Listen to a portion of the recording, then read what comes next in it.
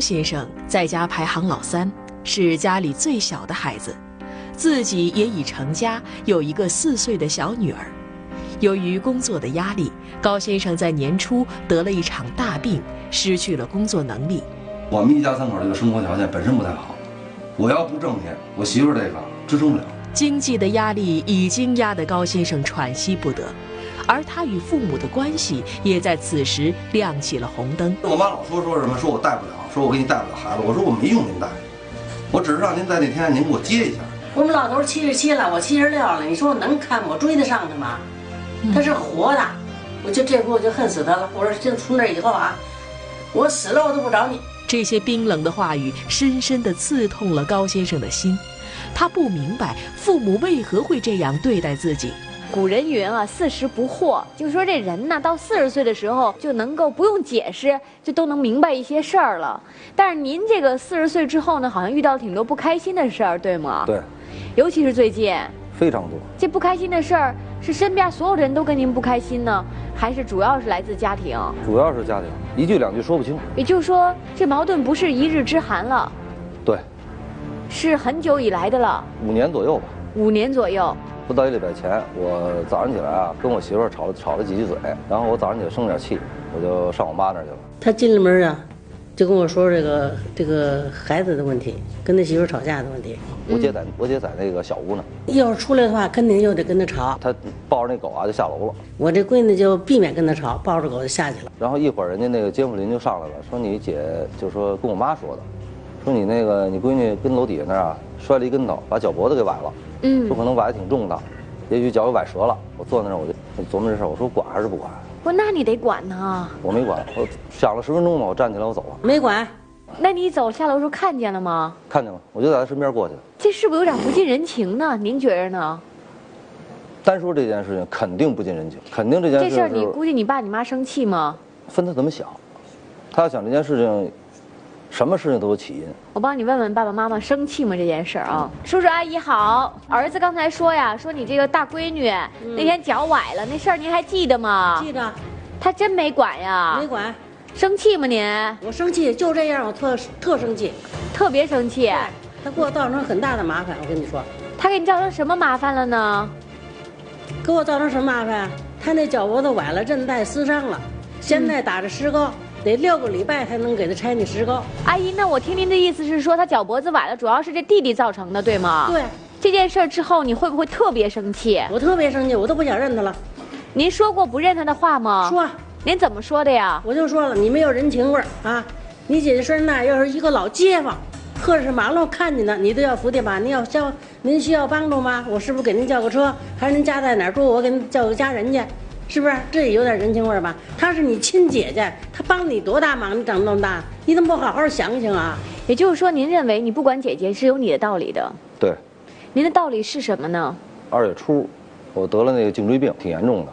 做完手术大概两天我就出院了，跟家待了四天吧，我就去干活去了。他做手术，二话没说，我掏了八千。以前因为我媳妇跟孩子都跟家，嗯、我媳妇主要看孩子，就是以前是全职太太。对，这样说我这脖子不能使重力了啊，说我去我也出去打份工。他现在打这工呢，一个月一千六。我们家现在我自己啊负担的啊，房租现在租的房子是两千一。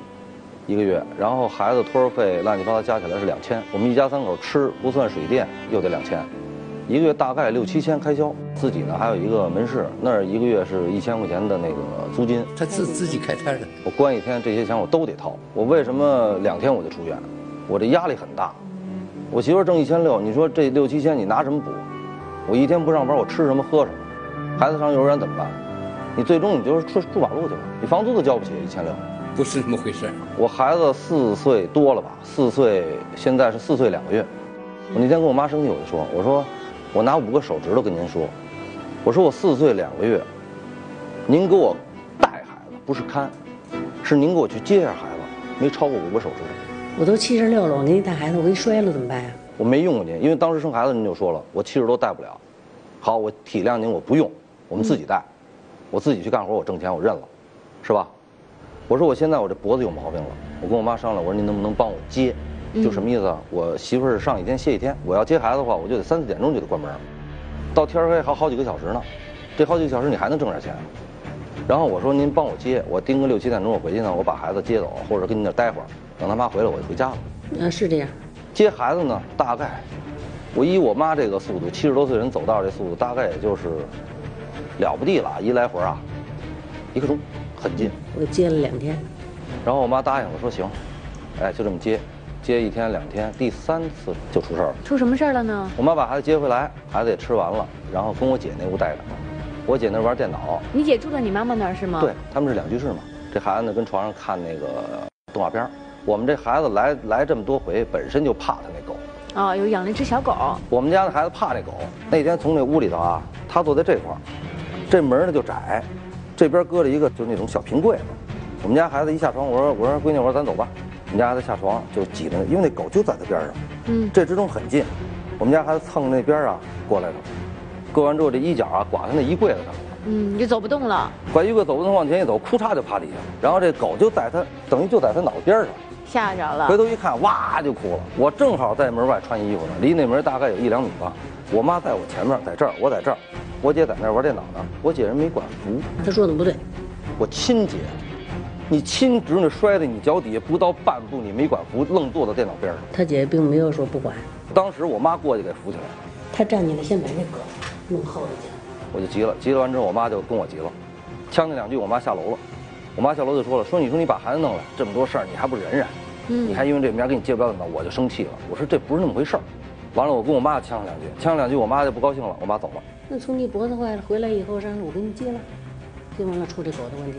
我就回家了，我把孩子领回家，我媳妇在家呢。我说你啊，看会儿孩子。我说我出去找我妈去，嗯我待会儿别出点事儿。她那么大岁数了，也有心脏病，我就骑着摩托车出去接下去了。接了我妈之后，半道接了，我妈生气。我妈说：“你看现在你闹成这样，没法给你接了吧我管不了，？”我说：“那这样成不成？”我说：“把孩子呀、您还得给我接，是吧？我不用您看，您还得给我接。接呢，你们把这孩子搁大屋去，是吧？躲开他那小屋，把那狗关小屋去。”我爸接了一句话：“你孩子搁大屋，他得跟我抢电视看，那可不行。”好像应该是我说，但是我现在记不太清楚了。我二话没说，骑着摩托，我马上就走。萌萌，我外甥女儿，我侄女豆豆，我哥的孩子，都是他们老两口给，尤其萌萌带到成人，嗯，现在还经常来我们家，都结婚了。豆豆现在带到十四岁，都是他们老两口子一口带。你允许他们俩人从小跟你抢电视，我的孩子是天天跟你抢吗？你能说出这话来？我觉得我没对不起他。你知道我什么情况吗？你把这重担压我身上，最终有一天我脖子完了我就垮了。你觉得自己都身体这样一个情况了，爸妈怎么不心疼你呢？是这样吗？对，我可恨呗。你为什么可恨呢？不知道，我自己理解我我是这家最可恨的。我都这样，你可以不管啊。我妈还跟我说呢，说三儿，说我都掏心窝子对你照顾的最多，最心疼你。你哥你姐他们都开过买卖，我从来没去照顾过，你知道吗？我就是你开买卖，你看我跟你爸老上你那儿去，老照顾你去。最后嚷嚷两句，我说老太太也嚷嚷急了，我也没说话。我觉得我爸最不应该一件事。这时候我爸在路边站着，我妈是生气呢。我爸走过来搀着我妈说：“说你呀、别嚷嚷了，别生气了，咱回家跟他断绝关系，跟他断绝关系。”父亲的这句话犹如晴天霹雳般击打着高先生的心。本是血浓于水的骨肉至亲，父亲为何会说出这样绝情的话？咱回家跟他断绝关系。为什么要说这句话？为什么？父子之间又有着怎样解不开的心结？所以就是你其实对妈妈的这种做法，你还能了理解，毕竟是老太太嚷嚷两句得了。但你爸的每一句话，你都觉得倒你心窝子。扎人肺管子呀，真的，真扎呀，你从小跟爸爸关系不好吗？还行，因为我们都是我们仨孩子都是长在身边起来的。嗯，好，来帮我推一下话筒。叔叔，当时这两句话，第一句话他说：“您说那可不行，不能到大屋，不能跟我抢电视。”是您这说的说过，您当时是怎么想的？说这句话呢？他既然这么说了，这就得倒倒根儿了。那在他媳妇怀孕的时候，就说过这，我们就跟他说了，我们岁数大了，带不了你的孩子。但是现在，因为他现在不是生病了吗？他不需要帮助吗？我的儿子跟明理直气壮跟我说，我现在有难。那么现在他刚这个一个孩子刚压到压压力压到肩膀上，我是三个孩子，也就是您认为，呃，您这个儿子呢，现在让你们帮他带孙子，这事儿本来就不应该让你们去带，对不对？没错。我们不是没接过，接过孩子，回来可不是那么回事儿。为什么？把孩子往屋屋子里一撒，大沙把，嗯，他是想做大爷来了。吃完饭以后，沙发上一躺看电视不玩，他妈的跟着孩子屁股后头来回转。嗯，一旦他妈有个好歹，找谁呀、他考虑过这些吗？明白哈。先生是这样吗？爸爸说的嗯，我妈这病是真的，啊，不，就是你是在家里边，你是大撒把，基本上都是。你一回家就往那儿一躺。嗯，大部分时间是偶尔跟孩子逗逗。您是工作很忙吗？我一天工作至少十个小时以上。他自自己开摊的，开一个门脸。时间他自己掌握。我这颈椎病来的就是累出来的，因为我干那活十个小时一直在这样低着头，而且一般的像四月份到十一月份之间，我一天工作十二个小时，早八到晚八。所以爸爸提出来的也也是也是有道理的，就他说你这个当爹的你都没有在那好好管，是有道理的，对吧？一半。一半。我觉得如果要是想他为什么不管，就好办了。不是那么回事换谁一天干十个小时的重体力活，我是让他来，让他回到家管管我看看。我追你那孩子，我要趴在那儿摔坏了怎么办？我非常理解啊，有的时候我我们工作也会十几个小时，也是反正虽然不是体力，但也是重脑脑力劳动。我回家也很累，但是我是觉着即使很累，孩子是您的，是不是这个道理？偶尔啊会跟这孩子玩儿，嗯爱跟他斗。有时候我这斗呢，就是我媳妇儿老说我说我不会斗，一给孩子斗急了。反正我就是对孩子这我大大咧咧，我我心里的责任感，我我不觉着那天那个编导问我，我就我说了，说你是不是责任感挺重？我说我不觉得我责任感，我说我觉得我出去挣钱应该的，我就心里就这么想的，嗯我没说我啊我为你们吃啊喝的什么的，现在咱可以这么说，但是我当时这么干的时候呢，没有这想法。好，我们也拍到了这个先生工作场所的一个小片啊，我们来看看先生的工作情况。高先生经营着一家模特维修店，每天十多个小时超负荷的工作已经让他习以为常。我这个瞧完病做完手术之后的五天左右吧，我就出来干活来了。你天天跟家待着，你也挣不着钱，这开销那么大，那您现在每天工作需要工作多长时间呢？大概？大概是十到十二个小时左右，那不会觉得很辛苦吗？您这颈椎受得了吗？受不了，干会儿歇会儿，那也得干，不干你没钱。面对家庭经济状况的拮据，他不得不日复一日重复着简单粗重的体力劳动，甚至忽略了自己日常生活中的所有细节。您那天穿的衣服和今天穿的衣服依旧是一件，啊，对，对吧？对也就是说，你已经忙到了几乎不太管自己的一个情况下。嗨，我一年买不了一件衣服。嗯，哎，你觉着你你对你父母怎么样？你觉着，咱先不说他们对你怎么样，你觉得你对他们怎么样？这个问题很难回答吗？对，为什么？我现在四十三，我三十岁、三十四岁之前，可以说是个混蛋。嗯，是这样。为什么呢？哦是因为你家里的老小，我觉得不是因为我小的问题，是嗯，因为我根本就不懂，根本就是那你也没觉着应该笑，嗯，不是，我根本就没意识到这个。人家说笑笑什么的，我也就是回去了不地了，买点吃的，然后聊聊天儿然后真正说，我妈我爸身体上有什么病什么的啊，我就是说是很少，很少去，就说是真正去照顾我妈、照顾我爸，很少，几乎没有。那从三十岁到现在呢？三十四岁以后，嗯然后我就明白这个了。我们感觉没什么特别。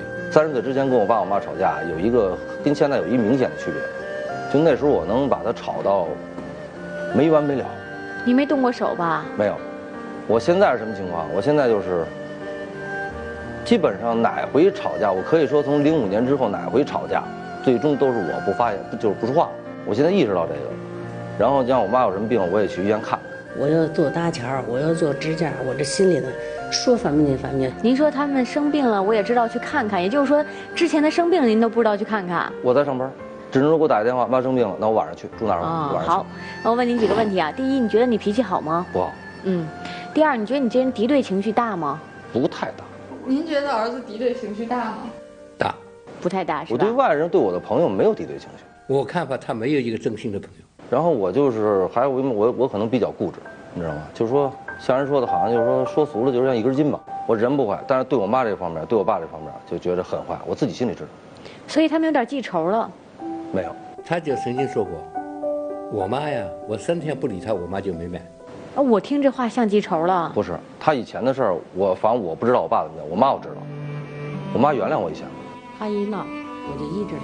我曾经说过的混蛋话多了，你知道吗？我我稍微留点脸面，我希望我妈不要说，但是我跟我妈说过，我说我曾经跟您说过的话，我说就是因为这句话，我说我还不起您。那您今天来，您希望我们怎么帮助您呢？我现在心里还悬着一套房子的事儿，我现在心里还悬着一套房子的事儿，我现在心里还悬着。当主持人问及高先生希望得到怎样的帮助时，高先生脱口而出的竟是房子问题。面对自己与家人之间紧张的关系，高先生竟觉得房子问题更为重要。这会不会是高先生与父母之间不和的真正原因？谁的房子？我爸的。你爸的房子跟你有什么关系呢？嗯，说来话长，我从头说。九七年我们家拆迁，然后呢分了我一套房，我是九九年吧，好像把这套房给卖了。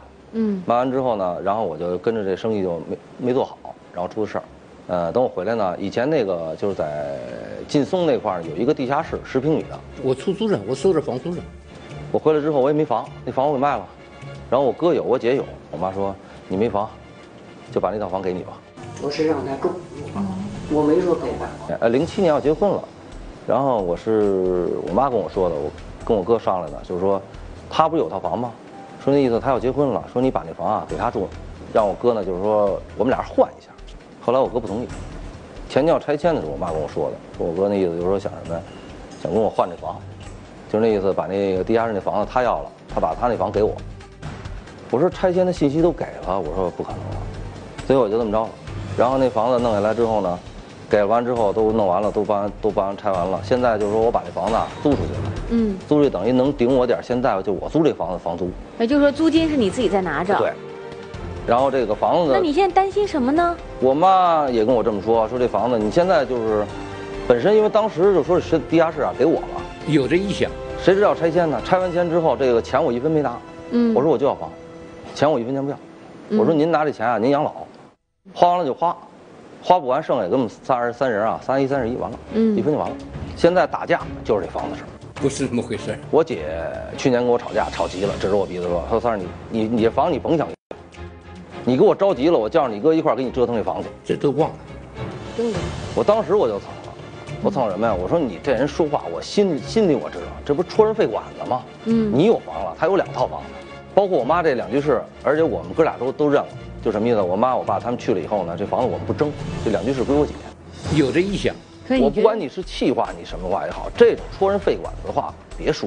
你的意思是你也怕大家吵完了以后，父母再把这套房子？对。而且我妈头几天上那个我们门市跟那帮人说，就是跟跟我那个那好哥们说的，说那意思就是说，反正他去了以后就是三一三十一。说了。为什么要说这句话？问问他。那就是那意思。这你根本接受不了。他要是一意孤行，那我就认了。你要是三一三十一，我那一份我都不要了，你也甭给我，我也不缺那，我自己奔去，奔得着我奔，奔不着我认了。我住马路我绝对不会找你说一句软乎话，我绝对不会。这位先生现在的主要问题有两大方面：第一，因为接送孩子的事儿跟父母，特别是跟姐姐有了一个巨大的矛盾。第二，这背后埋着的是，他虽然跟父母和姐姐这样闹腾以后，他更担心的是，这样闹下去，这房子不给他怎么办？其实我觉得先生说话挺有条理的，但是话里头呢听出来这么几个感觉。第一个呀，有自己主观上一个非常好的一个愿望，其实在家里面最小，或者可能从生活状态来讲，你现在最不好，是特别希望爸爸妈妈，包括哥哥和姐姐能够照顾你一下，而且是那种不需要你去央求他们。自发的从亲情的角度来照顾你一下，可能会有这样一个主观的期望，但是事实环境当中呢，发现没有，所以挺失望的。我觉得他这话里面之所以说我宁可睡马路也不找他们求救，其实是主观上有一个希望，然后又发现现实生活又离他希望是反的，就会很失望。再一个感觉，我还是觉得有点赌气，对，就是真的有点气在里面，就是觉得我最小，他也认可自己以前可能做的不好，但是他会想，就是我已经已经认自己不好了，都是自己亲爹亲妈。我已经认错了，我现在确实状况又不好，为什么就不能理解和原谅我？稍微理解理解一下我。听您前面讲的您的这个这一些故事哈，觉得您好像跟外人，虽然您没有展开，但是您有一句话说我跟这个朋友啊。跟周边的人还都挺好的，是吧？就是比较远的人反倒关系很好。然后对于这个近处的人呢，您都展示了您的这些种种矛盾。这个世上专门有这么一种人，就是跟近边的人都搞不好关系，但跟远处人搞得特别好。就是说，这叫窝里横啊！就是他在外边呢，给大家的印象特别特别好，人家提起这个人都竖大拇指，专门有这么一种人。然后你要说他在家里头跟谁都是就是四面楚歌，都谁都不信，人家都说不对吧？我们印象中他不是这样啊。所以我不知道您是不是属于这类。差不多，但是我我这人说话，我在外边说话什么的咋地，我就说我这张嘴是嘴，不是别的。对呀，所以说这样的人在外边人缘肯定特别好。我看法他没有一个真心的朋友。所以您呢，可能就是外边这面儿全顾到了。您看您刚才展示您那工作十小时以上，颈椎腰椎这么不好，可是还在辛辛苦苦努力工作。我相信您给人修车绝是一点不不带那个中间有什么虚假的，一定是有 百分之百的技术，就使百分之二百的那努力，就这样的人。对。但是呢，这人就累着了，那回家就得松懈一下，这一松懈不要紧，周边关系搞不好了。哎，您说这有道理，真的。这个这位先生给我的印象呢，还是蛮男子汉的啊，北京话蛮爷们儿那个劲儿。但是在家庭关系处理上呢，可能也的的确确因为一些物质条件的限制，那么跟兄弟姐妹、跟父母之间产生了很多的矛盾。但我更听得进去的一句话就是，这个先生认为他的父母对他不公平。所谓的不公平，对哥哥姐姐的孩子们都有很多的照料，而轮到自己了。不体谅你的困难，不帮助你看孩子了。但是我刚才跟施刚老师在讲一个我们自己的生活经历哈，就施刚老师也好，包括我们自己生孩子的时候也好，当时老人刚刚六十来岁，或者有的甚至还不到六十岁，体力也非常好，刚刚退休，他有精力帮你带看孩子，这一般老人都愿意帮你带。但你父母的身体状况，您刚才也说了，都这个年纪了，老人家还一身病，那么他可能即便想带。他也带不动了，何况有时候经常爸爸妈妈说，如果我给我的儿女带孩子，这是情分，也不是本分。但我刚才听了听这位先生的表述呢，把这事儿当本分了，是义务了。这个呢，说实话，认知上是多少是有一点问题的。关于财产的问题，其实他自己还是很清楚，法律上怎么规定的，自己有什么权利。我觉得这个人，咱说句你爱听不爱听的话啊，或者说我这个表达不知道是否准确，他不是个浑人，他不浑。或者说他年轻时候可能曾经他自己认为有点浑，哎，其实他不浑。现在呢，已经给改回来了，是这样吗，先生？嗯，改点其实他们，或者说你的爹妈、你的周围、你的家人呢，不太能读懂你。你们之间的那种较劲呢，实际上是在那个不该较劲的时候就较上了劲，最后不该大发的时候把那劲给叫大发了，于是他们眼中的你，太不像话了，你眼中的他们。怎么你们可以这样？所以说今天你们之间，我们更多的是找到那种，其实你们并不是那样的理由，然后往一块凑凑，没准你们这事儿就解决了。你别着急啊，一会儿来教你怎么办。您先休息一下，我听听爸爸妈妈怎么说。行。七十六岁了啊，叔叔呢？七十六，七十七，我比他大半年。大半年。七十六七岁了，还因为这些事儿烦心，是不是特别着急呀？没法说。今天出门的，我还说，我都愿意一个跟头摔死，痛快。这些事儿我全了了。呀千万别这么说，阿姨，多大点事儿啊？你不知道我们家这琐碎的事儿太多了。嗯，不是这个来一通，就那个来一通。这回这个儿子，嗯，跟这个他姐姐吵架，嗯，你们很生气，我很生气。你们站到谁那边啊？我站到闺女这边。为什么呢？为什么呢？我做搭桥也好，我做支架也好，是白天那个这陪着我也好，是夜里陪着我好，都是我闺女。她脑血栓，一下就瘫了，腿也歪了，手也歪了，脚也不会走了。嗯，她连拖带拽的给拽到楼外头，赶紧打一个急救车给叫走，弄走，给治到现在。嗯，都是她的。我们的病，一切一切都是他给我们照顾的，就是女儿。哎，对，这个家里做饭呀，什么扫地啊，有时候他愿意管就管，不愿意管都是我爸我。这回这不是因为小孙女儿来了吗？那小孙女可爱吗？可爱，你喜欢吗？嗯，也喜欢。嗯，也喜欢逗她玩吗？逗她玩，这上家去逗。这爷爷逗她玩吗？呃，基本上很少。怎么说呢？脑血栓以后有点我闹点后遗症。我爱看电视，哦，所以说因为抢电视的事嗯出来了嘛。所以你特别怕这小孙女来了再把你的地位给抢了。嗯我就想听你说这句话，让大家都看电视都听听，应该。呃，这家里边有一只狗，这只狗是宠物狗，是谁的？谁养的呢？我闺女养的。闺女养的，也就是说，这个小孙女呢怕狗，这要然后呢再接回来呢，的确会产生一些问题。对。那您有没有想办法让这这个大这应该叫大姑吧？嗯。这大姑跟这孩子孩子嘛，那狗它玩着玩着不就不怕了吗？有没有想过这个方法呀？他不让玩。我要想弄这狗，你家里除了女的就是女的，谁给我钱大？其实孩子，我觉得那么小的孩子，如果没有人跟他说的话，他是不会怕狗的。现在要是这么说的话，好像我们无理，嗯，是吧？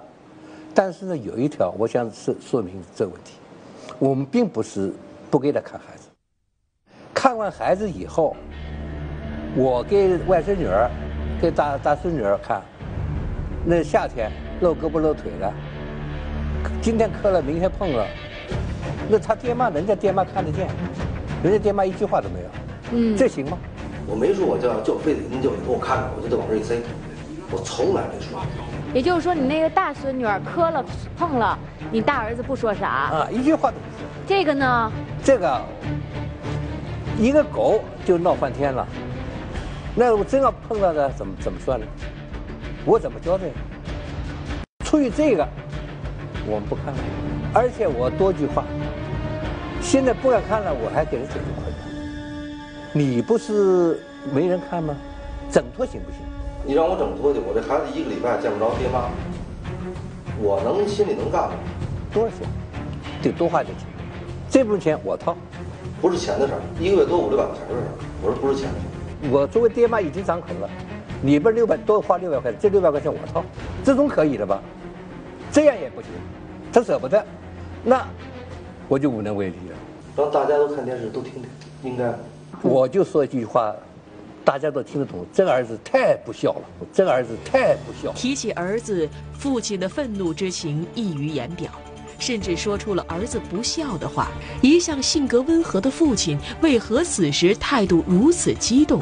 父亲的心里对儿子究竟还有哪些不满？我活了六七十多年了，我现在悟出个道理：孝子孝子，顺着为孝嘛。我得顺着他，不顺着他他就闹。这不现在闹得我们都无所适从了，闹得他姐，等这个脚不是崴了。本来是他他妈的一个帮手，现在没有，我们请请人来帮忙。老太太再也累不起了，搭了六根桥，现在又肺栓塞，得的都是都是要要命的病。要是从我妈跟我爸比，我对我妈的影响不大。养儿方知父母恩，现在他养儿恨他父母。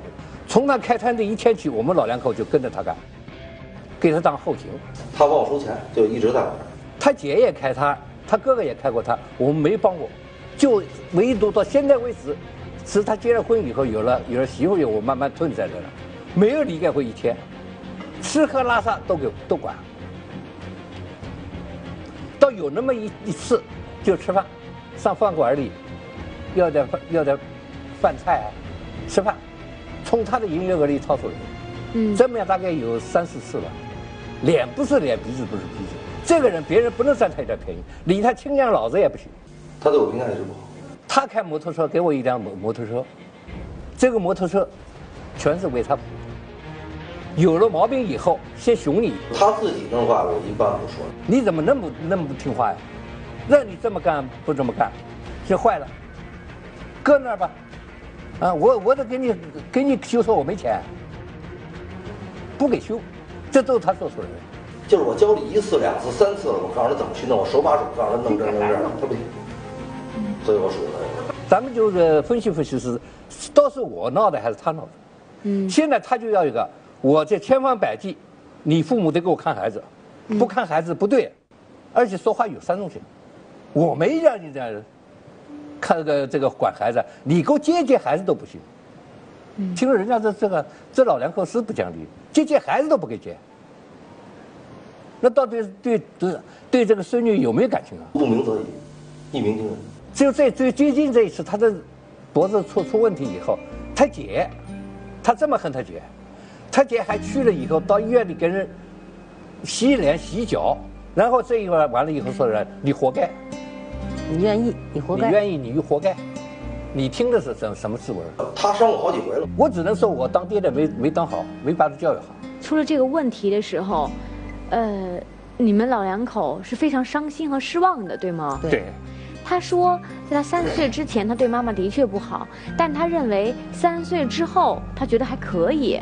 满不是他跟我是呃说了，我对我妈的意见不大。我以前呢对人确实不好，我不知道该什么叫孝顺，我这我也想通了。进了进了家门了啊，妈，嗯，我我找着温暖，这每回就干这个。我上摊上给他送饭也好，送水也好，见着我了也是这个，要不就这样，找母爱，要不就弄我那嘛了，这干嘛呢？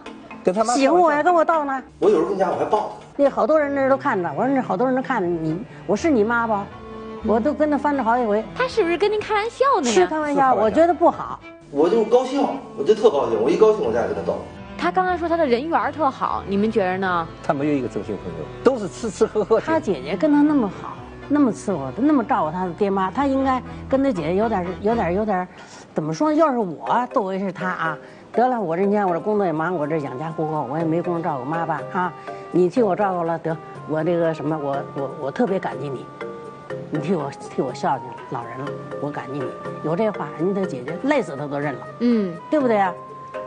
他不说这，他不讲这个。刚才我听着很生气，我哪儿对不起他？他开出来一个电话，拿起电话来，喂，来一趟，我回家拿东西。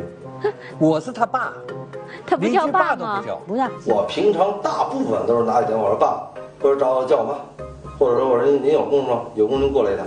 喂，来一趟。啊，跟我叨了好几回了。我说你就说你带他再打电话，你就说但是没有姓歪的，你找错了，把这电话给他挂了。他就记得你那没叫那天了。我说你给你老丈干的要打电话，你明知道是人家是姑爷奶俩打电话了，人家也接了，你能说喂怎么怎么着，你就能怪吗？有时候这打起电话都习惯，一听是我爸，我就说那你有空有空您过来一趟，我给你拿东西。偶尔吧，看店儿看了那么长时间，给你们工资吗？不给一分钱都没有一分钱没给。吃他顿饭，他都鼻子不是鼻子，脸不是脸，嗯气得我们吃饭馆去了。后期的时候，我但是你们这个老三呀，觉着你们不公平，觉得你们俩对哥哥姐姐都好，对他不好。够公平的了，他占的便宜还少吗？嗯房子房子他落着了，钱钱他落着了。在父母眼中，他们对于小儿子无论是在经济上还是生活上都有颇多的照顾。为了照顾小儿子没房的窘境，拆迁过后，父母同意将新房腾给小儿子居住。他哥哥他姐姐不不争啊，他哥哥要要争的话，我们老两口的日子很人家不好过。这回姐姐急了就说：“我们不跟您争，为什么？我们心里你老两口子，我们仨人要去争，肯定您老两口就得生气。这么大岁数生个好歹的，我过意不去。然而，父母让高先生所居住的这套房产，并没有登记在他的名下。加之他与哥哥姐姐的关系并不融洽，为了维护自己的利益，高先生想要将房子过户到自己的名下，这一做法却遭到了父母的拒绝。关键是之前他已经自己把一套房子给卖掉了，是吧？那对，那套房子是你们给的吗？不是分的，不是分的，哦，是那个拆拆迁的时候分的。，哦，那跟你们没什么关系。没什么关系，那是给他给他哥哥一套，我我多一句话，就是名字是他的，所以他有权处置。其实是你的。按道理应该是我的名下搬迁的，我想知道，就是妈妈那天到他那个就开摩托车的这个地儿哈，嗯。铺里边，您是说你要这么闹不给你房子，咱俩断绝关系，说这个事儿了吗？我说你爸也气成那样的，你爸说了，你要再闹下去，这房子不给你，你这脖子坏了，我没我也考虑你说你挣不了钱了，呃媳妇儿要出去要挣点钱，这也是正常的哈，嗯，这挺好的事儿吧？哎，我琢磨来琢磨去，还给你接吧，一共接了两天，头一天来了挺好玩的，挺好的，第二天说到点了，他们他爸说你妈快回来，咱回家吧。那孩子呢，从那从那姑姑那屋呢就出来那看电视了，出来以后呢，那个一个柜子那揪揪，柜门有一揪揪，拐着他的衣服了。他往前一冲呢，砰一下子就趴在那儿了。姑姑的确没拉他，对吗？来不及反应来不。是拉，不是没拉他，他姑姑在那玩电脑呢是挺近的，这狗更正好卧他姑姑姑的那脚上的。嗯，这孩子一趴下呢，这他一呱一哭呢，这狗也吓一跳，这狗也腾一下就窜出来了，窜出那个狗那脑袋跟那孩子那脑袋也得挨着挺近的。他姑姑站起来，先把那狗给拉后头去了。他当时把那狗抱走了，我妈去抱着孩子。不是姑姑没动，不是没动，他先把狗给弄但是后去了。刚才这位先生说的是姑姑在那玩电脑没动，不是这样的，动了动了，就先拽狗了。哎，对，他要是拉我能起。姑姑对这个孩子还可以是我给吧？对他疼着呢，嗯，有病了，他他姑姑带着上。给他买衣服什么的，疼着着呢，怎么不疼啊？今天我听上去，这个先生自己说他跟姐姐矛盾大，跟你们矛盾不大。先生自己说啊，但听你们说，我们觉得你们这矛盾也不小。嗯但是姐姐没有来。假如我们今天在场上解决了你们跟儿子的问题，以后怎么相处说好了，这女儿事儿怎么办？呃，只能是他不来的原因，他就是不跟他，不跟他来往了。就是什么，他那一间小屋啊，你你的孩子别进去。姐姐提出互不来往的做法，究竟是绝情还是无可奈何？在前期采访中，姐姐并不愿面对镜头，因为她对弟弟已经彻底心寒。尤其是这一次，弟弟面对自己的脚伤不闻不问的态度，深深地伤害了她。姐姐是不是心里边也特别难过呀？难过。她会不会觉着他这老得提心吊胆了？恐怕我给累累坏了。您要再垮了他，我也动不了窝，您这让我急死。家里做饭呀，什么扫地呀，有时候他愿意管就管，不愿意管都是我管我的。按照刚才他说话这感觉，我觉得他应该是挺大年龄才结婚的，对吧？对对。他为什么拖到那么大才结婚呀？他不要，不找。这个以前也找过，找过都不行。嗯。这不是说说起来，他第一个女朋友的时候，正赶上他妈呀做搭桥，做搭桥手术，上他女朋友家去吃饭，一个月给人家五千。五千呀？五千。我那女朋友开销比较大。一个月给人五，人家给他洗衣服，管五分钱都没拿拿过他的钱，但是给了三四个月，他就不让我要。小的时候，你们对于这个小儿子是溺爱型的还是严管型的？嗯，有点溺爱，因为他最小。打吗？也打。呃，打少，很少。你们两个人是父亲的脾气更不好一些是吗？不是，我是您脾气更不好一些。我从来不打孩子。但是我今天听这架势，感觉这爹的气更大一点儿，感觉这个妈妈呢似乎捋捋还能捋平，这爹的气感觉不是一会儿半会儿能捋平的。这是一个常态，我觉得天下可怜父母心，尤其是妈妈，我估计就是儿子做的再不对，可能妈妈想的总之是自己身上掉下的肉，弄弄还能过去。爸爸现在在外面呢，因为看到自己老伴已经这个身体了，儿子还那么胡搅蛮缠不讲道理，可能爸爸就会很生气。所以现在虽然平常可能妈妈脾气急，但是爸爸现在好像似乎立场更坚定，也态度也更坚决一些，就不愿意再为这个事儿再把老伴给累坏了。嗯，索性不管。叔叔，你是这么想的吗？我不知道现在这个叔叔阿姨有点后悔，有点后悔。你说儿子成为你们所描述的这个样子啊，跟你们一点责任都没有吗？您刚才所描述您儿子的种种表现，都是人的人格特征，它来自于三个方面。一部分是遗传，一部分是从小教养的环境，还有一部分叫社会化过程中我们和人打交道所积累的正面和负面的经验。那你想想看，这三方面，遗传部分它一定随你们两个人其中一个人。那从小的教养环境，刚才说什么呢？惯着，影响他好小嘛，肯定是被惯着的。而且从他跟哥姐的关系不好，一定也是被惯着那一方。然后另外一个呢？就是他由由于从小可能被惯着，长大了和别人相处的时候，无无论是近亲还是远邻还是朋友等等，这叫社会化过程啊。在这个过程中呢，可能就会今天跟这个处不好，明天跟那个处不好，久而久之就什么呀，懒得处好了。所以您看，一个人是由这么几方面来的，这几方面可能跟你们老俩都脱不了干系。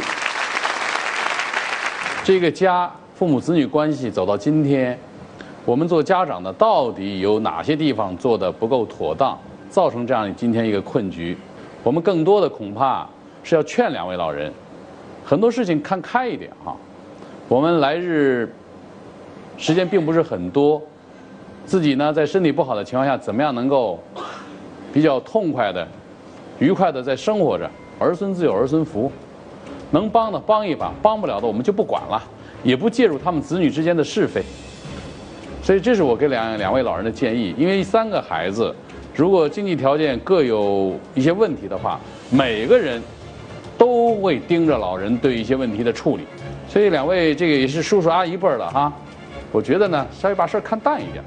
一家人把日子过成这样，这是他的亲妈和亲爸，倒像是在说邻居家的一个故事。设身处地的去想，如果说我爸爸坐在那儿这么说我，或者我坐在那儿这么说我父母，我不敢想。我刚才想了一下，都觉得脊背上出汗。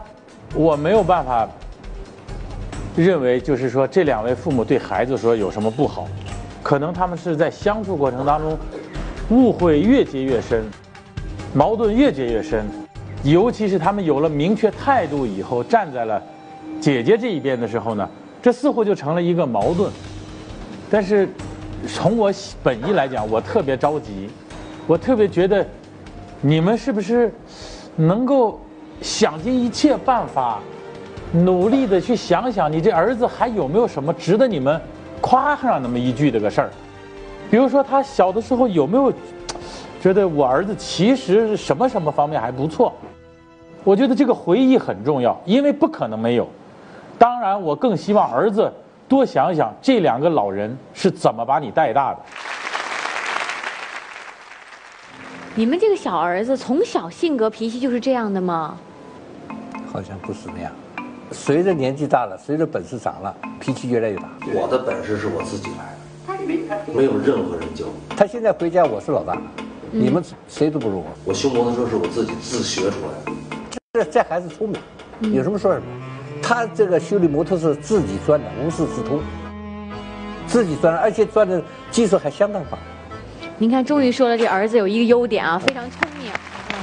他优点有，他人人人品不坏。嗯，但是说你不能翻过来拿拿你这个，你这脑子灵当本钱。嗯，我在家是老大。他们现在有一误区，他们就认为我要发火的话，老是倚仗我这个，我觉得我比他们有能耐。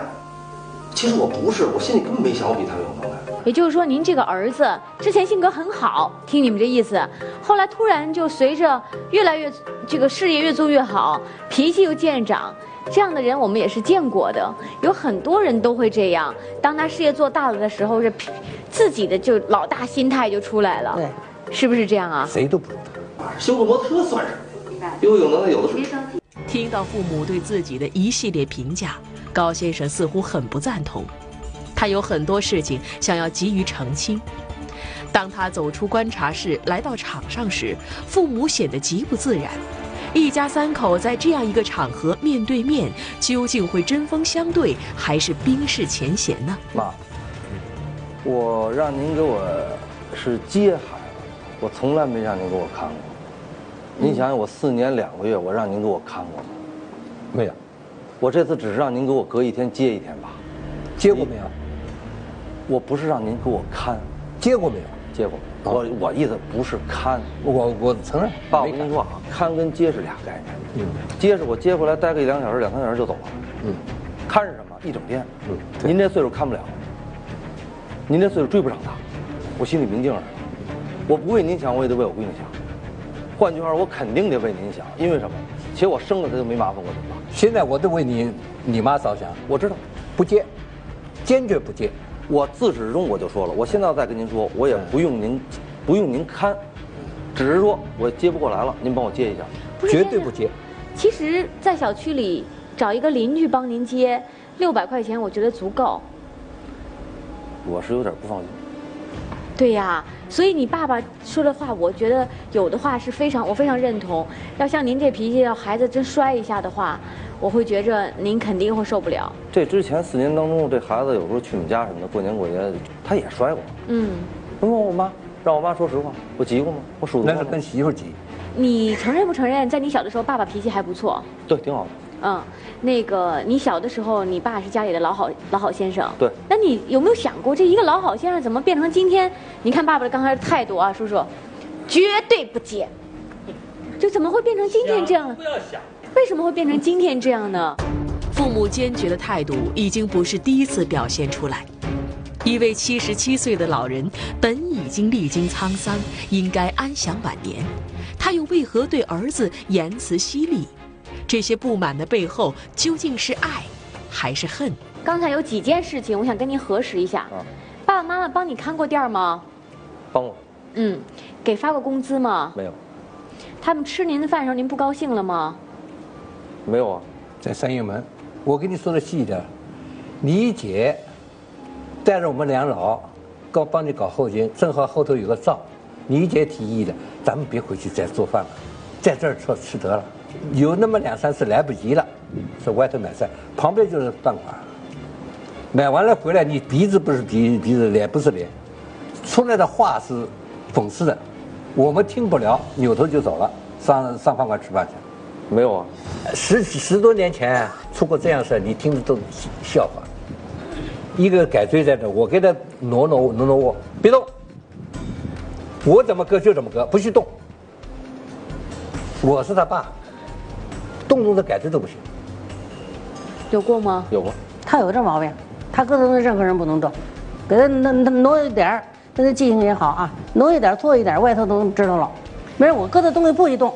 任何人都不能动。比如说，我也不愿意让我妈我爸动，我一般会，我一般不会像您这么，或者我不敢像您这么说。我要这么说，我我们家人跟我急。我家里随便，我上班的地儿我绝对不让。我说就是道理啊，所以你把你爸当员工了呀，还是个不发工资的员工啊。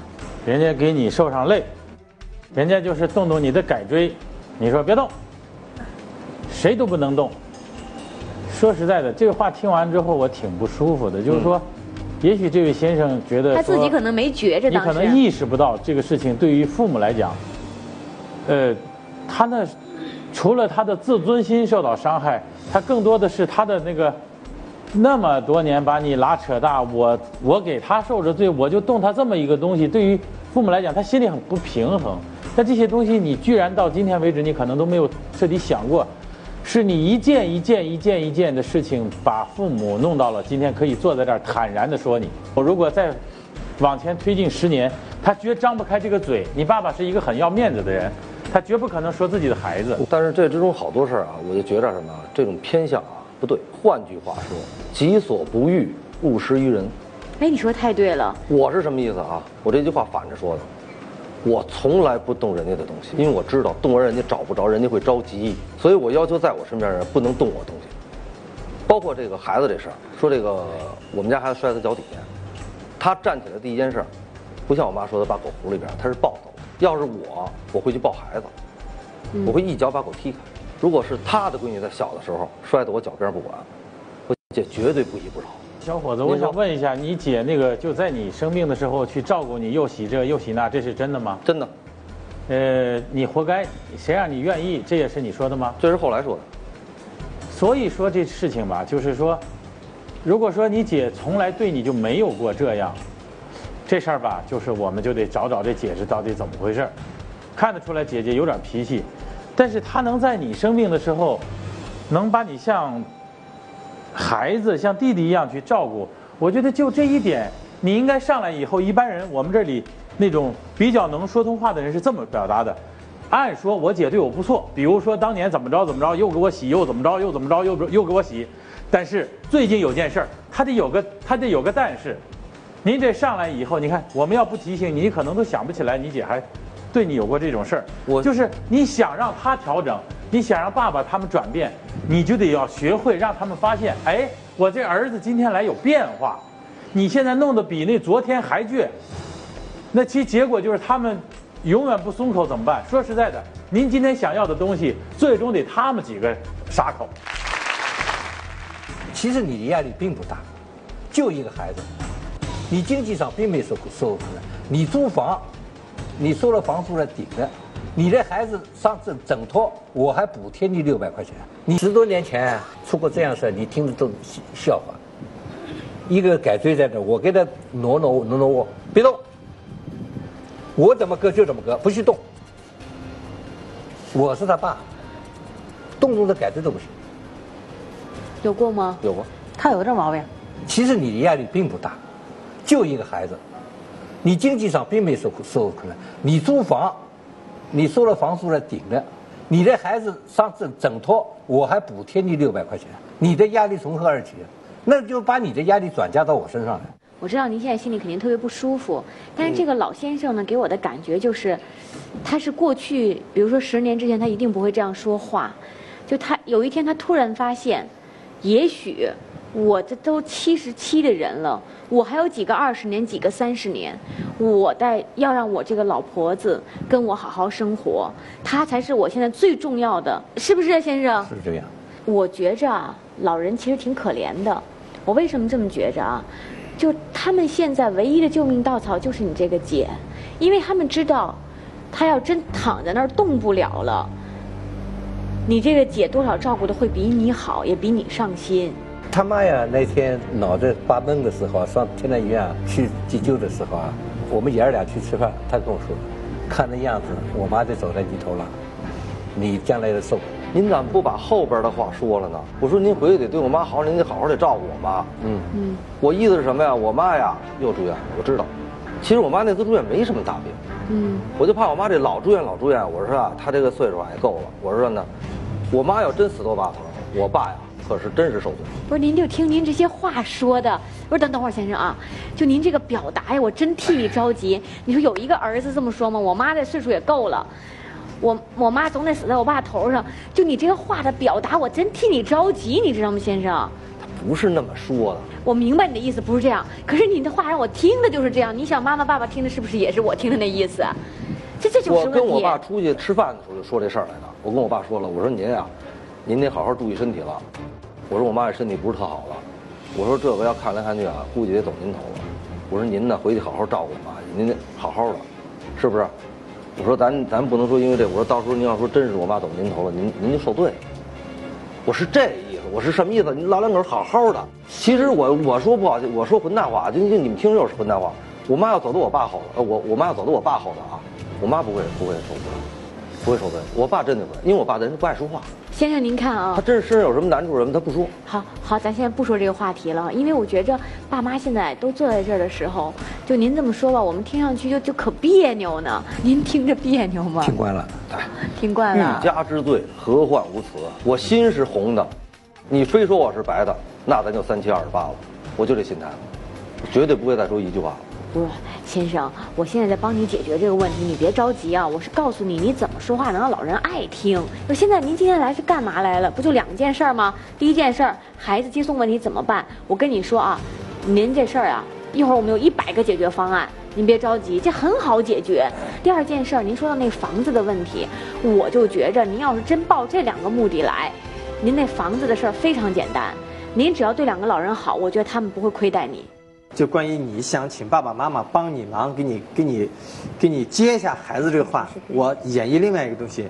我跟我王芳，你你站这，我比如说我现在呢缺钱，我想跟王芳去借点钱。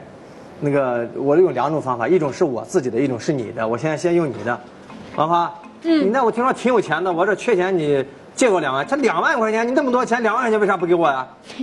我凭什么要借你啊？这就是你的方法，因为刚才你说你爸就说。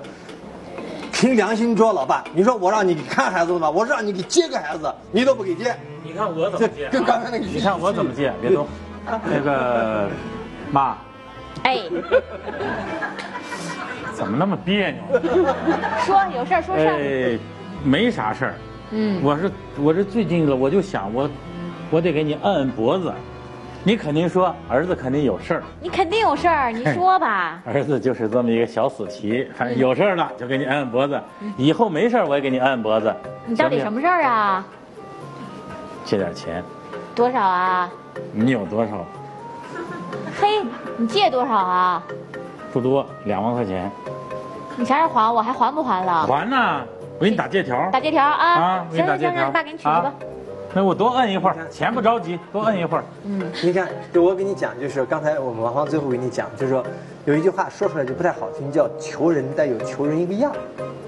您这求人好像感感觉别人要求你似的，就是您没有那个样，就没有尊敬老人家。你请人家帮你做点什么事情，你得把这个位子得摆正了。他话再难听，你一定相信他是你爹。对，你要真把那手到了，话到了，嘴到了，那个脑子到了。钱就到了。中国的父母真的，我跟你讲，真是天下可怜父母心。只要您把这些方法弄对了，老两口绝对今天全场看起来不是那种不讲道理的人，说话很有条理。你爹妈再好哄不过了。对，教你半招都够用。其实老人岁数已经这么大了，您现在说让他去接个孩子，也许对我们平常人，只要他有空，刚退休的老人没有问题。但他现在也是我刚才讲，你注意一个词儿，一身病痛。那么你在这种情况下，好像在我们听来，人家好像欠你该你的，你就仅仅帮我接个孩子，又没让你帮我带，凭什么帮你接？所以呢，不管怎样，这个兄弟啊，对父母还是那句话，我们我们这几位都是这个态度，要有一句好话，要有感恩之心，这样你对父母所做的一切，你都能接受。你应该是挺仗义的人，仗义吗？还行，还可以。然后你刚才说呢，你是说话算数的人，对，对不对？对。然后你很聪明，嗯，我不认为，我我也觉得一般，一般人。但是你手艺不错，对，就是你修摩托车的手艺不错。这个我是自认为没几个人比得上。就我那摩托车坏了，你能给我修一下吗？玩一样。玩一样，肯定给我修是吧？哎，太玩一样了。那你爸那摩托车坏了，你怎么不给修呢？我回去都给修。后来给修了。我不是，我回回都给修。他都是好多都是人为造成的，不定他怎么弄坏了，他得从家推到我头儿一公里。我有时候从这一点我就说了，我说你别动它，你知道吧？你动完它它坏了，你得推着。我也心疼，就我这话吧，好意，我一说出来就反了。所以你看啊，他不理解我，不仅仅是不理解，就是你的那个好话吧，你都没好好说。你是啊，你就这么一个人，您要顺着捋吧，您是个特好、特好的人。然后您要是跟你呛着来吧，不要了，房子我不要了，啥啥我都不要了。你说你自己吃那苦干嘛？你我不是吃，我打小这毛病。是啊，但是你这毛病知道吗？你爸你妈身上都有。刚才我们都看到了，其实你不是自己来的，跟爹妈都有关系。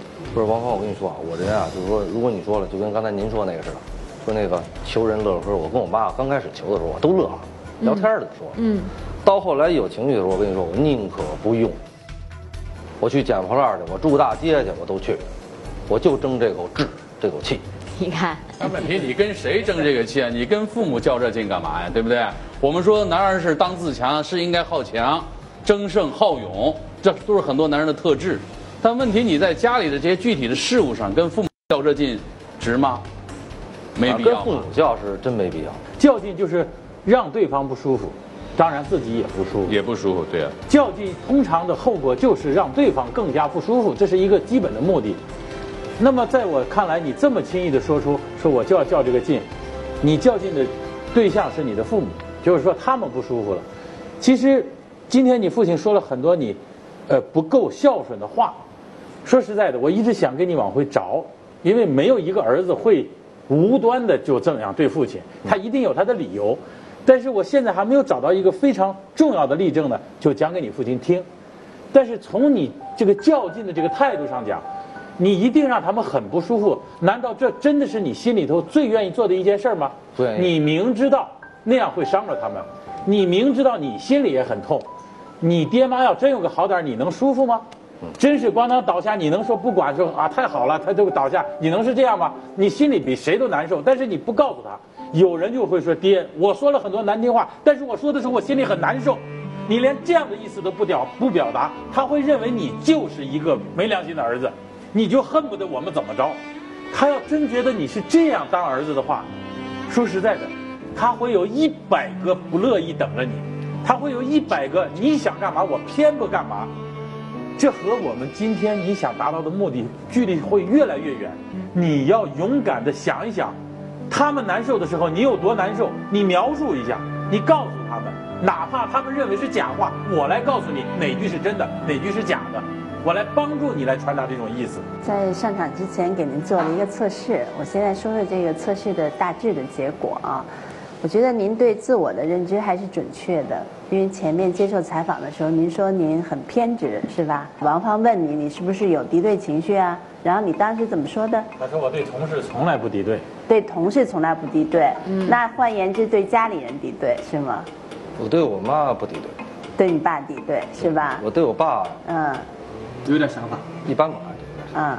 是这样，就是。说，在测试中呢，显示的你这个敌对情绪和偏执的分数相当高，所以你要知道，呃，一个可能本来性情有点随妈妈，就有点偏执的人，从小又被娇惯，然后可能就会更加的偏执。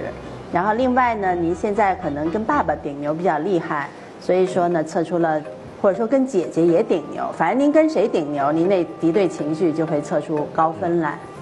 但是呢，我也要支持你一下，因为您还测出了别的东西。别的东西实际上呢，我也希望你的爸爸妈妈也好，你的亲人也好，就是对你要有所理解。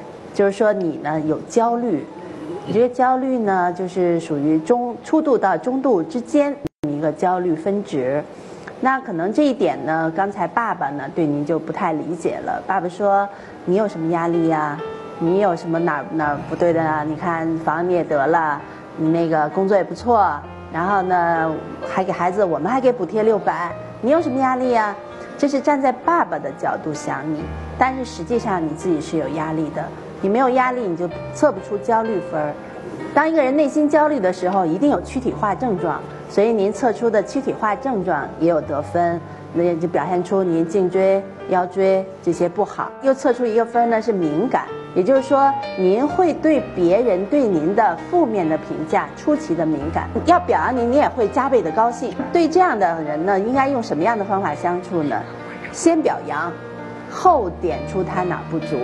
如果说上来就说他哪不好，一定他的情绪是反弹的，然后内心呢是痛苦的，然后他反过来就有敌对情绪示外了。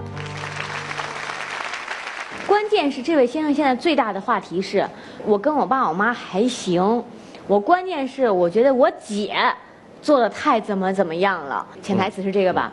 可是先生您知不知道，你爸你妈现在把你姐当成救命稻草，你去葫芦这个救命稻草，他们能高兴吗？他们肯定不高兴。不高兴的时候，他们就找你，找你呢，你又把这个对你姐的气儿又撒到了你爸妈身上，他们就更不高兴，就认为你不孝。其实我没撒，我跟我姐之间啊，其实刚开始都是我跟我姐直接吵起来，最后是我妈接过来，吵着吵着，最后我没话说，我走了。我一次一次压着自己，这次我实在压不了。为什么我不管她？其实我知道我妈的苦。对我跟你说，我妈什么人？我妈是实实在在的人，脾气直。她不善于解决家庭纠纷，您知道吗？就跟我上回是就说我这个，我一进家门有一回我一进家门，那个我那外甥养了条小狗，那条小狗是咬人咬一溜。我刚一开门那天下班特好，高兴舒服进搬家门，刚一开门这腿一迈，吭给我一口。我当时这一肚子火我就上来，我站着没动窝。我妈跟那儿，稀里糊涂把那狗就弄屋去了。我一看这好家伙，你儿子给咬了，你不先看你儿子，你弄狗去了。嗯其实我也明白，他怕我把这狗打了。完了，我翻回头来，我就我就我就拿那个一大，就是那个，好像那个掸子似的，嗯，我就要去，我姐跟屋里窜出来了，就挡着我不让。我妈一把我胆子拿下来了，我妈就跟那挡着，就不让我进。然后呢，我就急了，我扔完之后，我妈就说我，我一生气，关了门我走了。人那个我姐是什么态度啊？吊爪，拿起电话来跟那闺女啊啊啊！你你你小舅弄弄不让你养那狗了，要给你狗宰了。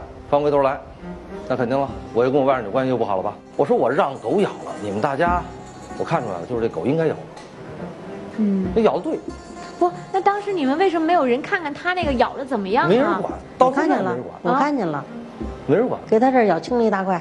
对呀，那你怎么当您时？您问他了吗？您看有没有？哎，儿子啊咬没事儿吧？其实我不是有事儿啊，他让我看了，我说有可不是咬了吗？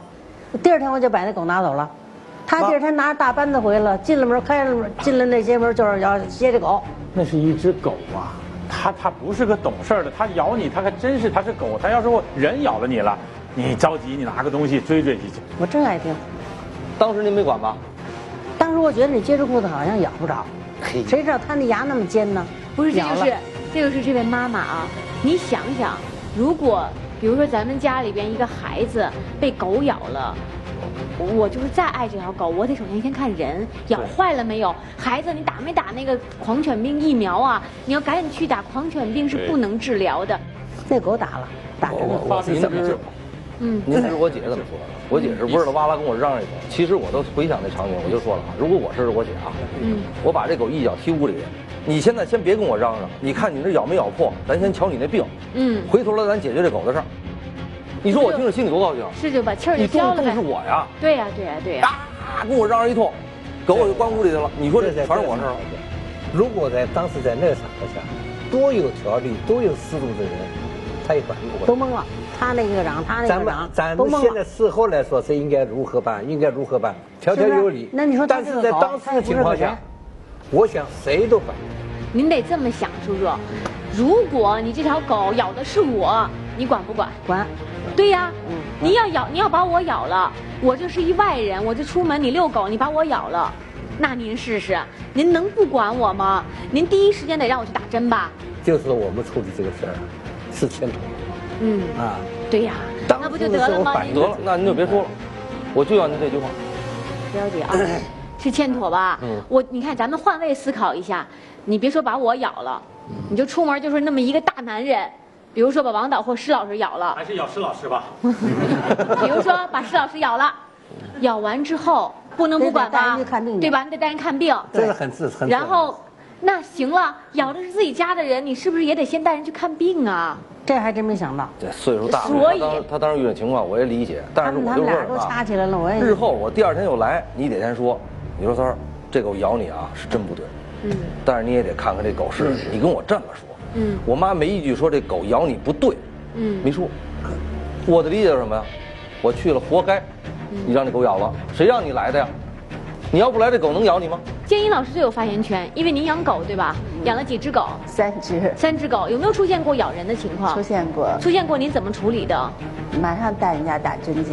然后呢，给人道歉吗？当然道歉，第一时间道歉，而且打完针呢，还是还看这个人送瓶红酒之类的。嗯过一段时间再问问没事儿吧，是吗？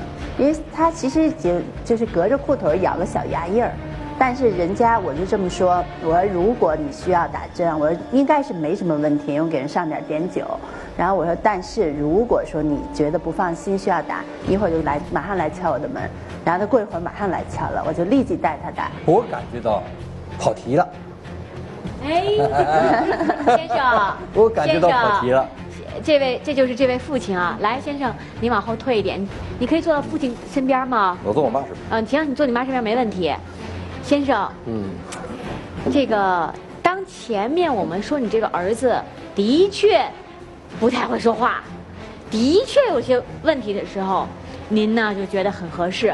但是当我们替这儿子说两句话的时候，您觉得跑题了。跑题了。这个问题啊，我觉着您这女儿做的欠妥，所以这件事情，我觉得您作为父母，您还是要公平的，一分为二的来看这件事情。先生，我们刚才说这些话的时候，您心里舒坦点吗？很舒坦。其实啊，嗯，我妈要当时说了，说说三儿，说这个这狗咬你啊是真不对，我得好好说说她去。我这人妈，您知什么脾气？您知道吗？您要真是说拿东西要打这狗，我还真不乐意了。嗯，我就要一句话，您知道吧？其实我就是说，说白了，我妈，您知道我什么情况？我跟那小孩似的，老板。就我跟您这儿，我这跟您这儿跟那狗争宠呢。是我让那狗咬了我重要，还是那狗重要？您当妈的，您说儿子让狗咬了，我儿子重要，当然了，无论什么情况，我儿子重要，是不？我宁可不要这狗，我也得要儿子。您要有这么一句话，我啥日后我绝对不会跟您嚷嚷。您放心，我姐这事儿，我没扶她，她她腿腿上，我给她磕头去，我给她跪下磕头去。但是，前提是什么？她对我孩子不好，我跟她之间的事儿，她跟她闺女说。你我是平辈儿，你让你闺女进来，她闺女也跟我妈这脾气似的，她什么事儿不会不会呀，来了就啊，我小舅子我得跟他玩命什么的，把这事挑到头为止，然后解决不了了。现在成什么了？她跟我关系不好，你的孩子要长大了以后，人家别人亲戚也好，朋友也好，这跟你发生口角了，觉得哎，你跟你的孩子一叙述，啊，觉得我爸挺好的，为什么你这么欺负我爸？我要跟你理论理论。你的闺女也得向着你，因为她没有她丈夫，她有她的闺女，她可以跟她闺女去诉说。您别着急，阿姨。嗯，刚才您认为有点跑题的这件事儿，恰恰是打开今天所有局面的一个钥匙，就是你们重视的事情不一样。你比如你看到的是这个，他看到的是这个，所以导致你们之间这么多误会。所以我特别希望叔叔您认真听听我们说的有没有一些道理。所有你儿子，呃，在你看来有问题的行为，其实可能你都从来没有去想过这是什么原因，为什么他会这样。嗯你只是看到了他一个又一个积累起来的你不接纳，他怎么会这样做儿子呢？但是刚才一听这个瞬间的发言说跑题了，那么我们就可以非常认真的告诉您，其实您是在判断的时候是有挑选的，这一挑选人就人就自我就不平衡了。你想想，与你没有利的这样一个说辞，大家还没有认真讨论的时候，就被你制止，这跟你儿子是多么的相似。你儿子和你这个想法是一样的，但是我们现在很高兴的看到你儿子已经开始调整自己，已经会告诉我们，其实妈，我是跟你在争，跟狗在争宠，我就觉得我比狗重要。他这样的表达，其实已经让我们看到了希望，或者说他已经为向您做隆重的道歉、痛改前非在做铺垫。但是您这一句话，让我们发现，可能让他现在做一些我们期待中的事情呢，为时有一点尚早。可能给你们增加困难。嗯，我的想法不一样，我的想法在来以前我脑子里思考了，这小子要服软了我怎么办？啊，我思考过，想招了是吧？嗯啊就是你特别害怕他服软吧？他要服软了，在这儿给我跪下，我问他妈怎么办？这孩子你还接不接？那如果人家给你跪下说：“爹，你可千万别给我接孩子，我给你跪下了。”那你怎么办？我没想过这个，我在想是什么？他服软了，接了孩子以后，我们家的矛盾没解决，我们继续为难。就在儿子的态度有所转变时，老父亲却突然表示，他不希望儿子在节目现场向自己低头认错。在父亲不安的背后，究竟有着怎样的担忧？叔，你没有想过，如果儿子今天在这服软了，可能你们家问题就从此就解决了。对，不可能，他的个性前头说后头磨。叔叔，你看，我给你两个非常具体的场景，一个场景呢是当儿子被咬了之后，王导说，他就是一条狗啊，你怎么跟他这个一条狗，就本来他就会咬人的人去去生气啊？老伴儿在后面接了句，哎，这还我爱听。后来王芳在表达了，你看，儿子被狗咬了。从哪个角度上面来讲，你都该先心疼儿子呀，其次才是那个狗。儿子在后面接了句话：“哎，这我爱听。”你回去看，一模一样，跟他爸爸反应。这时候你在后面叔叔接了一句：“我们觉得有点跑题了。我之所以接，就我觉得这个方向就是往那儿跑。”其实你们跟儿子之间没有大事儿，一个主要就是我们说解决问题啊或者沟通呀，最怕我们主观，最需要我们设身处地。你们今天之所以闹了那么大问题是，你们解决问题越怕什么你们来什么，最需要什么你们不要什么。现在是这样啊，我打断你的话很不礼貌。我思考过这个问题，在这个场面下，多多少少对他有一定的压力。也许他会服软，服软了以后我怎么办？您看，所以我刚才说，您不希望他往服软的方向去发展，就是您希望他跟你一直对抗我现在考虑的是什么？你是特别我我得保护我跟我的老伴。好，你别着急啊，您是特别不希望他服软吧？对，对，是这意思。我倒不不见得。你是特别害怕他服软是吧？，对，你这个人是这样，你硬我有办法，你要是服软我倒没有办法了，对吧？嗯。但是我告诉你软不吃硬，你儿子今天不会服软，你放心吧。嗯我一定让他不服软，嗯，可以。但是他不服软，那就得有人服软。你觉得在场上咱们几个人都算上，你觉得谁该服软呢？我不这么理解。我的理解什么呢？谁家的经谁家的念，他的经我不应该念。那我问您啊，您今天来这儿，希望我们怎么解决这个问题？您希望怎么解决？你告诉我一条路子。我希望你啊，让他认识到他的不足。他早他认识到了，我们刚刚说了。另外一个，他的困难他自己。自己解决。对，您就这两件事儿吧。对这两件事儿我一定帮你做成。您啊那好，对吧？那我不不再参好演了，，那我就问第三件事儿，你们父子以后还相处吗？基本上不相处了。你就准备好了，啊，就不管他变成啥样，你都不相处了。除非他找找我来，你要进门儿，如果是谈事情，正常事情，我容许你进来。嗯，如果你气哼哼的来，你请出国。叔叔，你特别怕孩子服软呀，我特别知道你为什么怕，你怕他用一种服软的方式啊，达成他自己的目的。对，如果儿子是这么服软的，你想想，哎呀，爸呀，我以前做的真混呐！我今天越想越发现我做的不对。你看你们都那么大年纪了，我怎么还能把我自己这点负担让你们俩替我承担呢？我越想越不对。我今天在你们要好好认个错，以前做的不对。对从现在开始我就应该考虑到你们俩这个年龄了，我怎么着应该花点时间照顾照顾你们。我孩子的办法我来想办法。就我的服软，你们放心，既不是让你们带孩子，也不是让你们分房子。我就认为我作为一个儿子，这么多年来，我居然对两位老人这么不孝。你们帮太你们帮了我那么多，你看。对啊，如果你不相信，我可以让施老师帮我写下来，程序律师给我盖上章，就这么定了。这个软你要不要？这可以。这个大叔，你把这事儿想简单了。其实你以为这样就可以保持你们两个人的清静，可是你别忘了，你是三个孩子的父亲。当这三个孩子继续发生冲突的时候，他们在一个你们看不到的地方发生矛盾的时候，你比看到还纠结。对，其实你是躲不开的，但是您现在为了尽快的过您安逸的日子呢，你想回避和逃避，逃是逃不掉的，必须来面对。你想让你的爱人、夫人过上安静的日子，只有一条：勇敢的面对。让我们几个人想尽一切办法帮助你们三个孩子，让他们团结起来，共同爱你们。谢谢你，谢谢你。如果这样，那是我要的，那是你要的吗？嗯。那好了，爸，我跟您说啊，我在家跟您那儿媳妇商量好了，孩子以后不会用您带，您放心。我们俩已经商量好了，孩子肯定不会给你添麻烦去了，这是肯定的。我我是不是说有气话在里头？一点没有。由于工作原因，高先生的妻子张女士无缘来到现场。但是面对一家人现在的僵局，作为妻子、作为儿媳的她，也有自己的一些想法急于表达。张女士委托节目组在录制现场将自己的想法传递给丈夫以及公婆。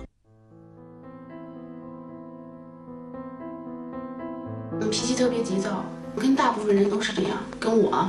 跟家里人还有客户什么的说话都是挺急的，啊，非得让别人按照他的那个方式来。我就要求他以后呢，就是说这个事儿解决完以后呢，就说不管碰到什么事儿，不管是怨你还是怨别人，你都要为了奶奶，然后为了爷爷忍，不能跟爷爷奶奶大声嚷嚷，别让爷爷奶奶着急生气。反正我我想要的，我也不是说那种特别追求，就说特别富有啊。但是我就希望家里能每天都都挺和谐的，挺和睦的，你知道吗？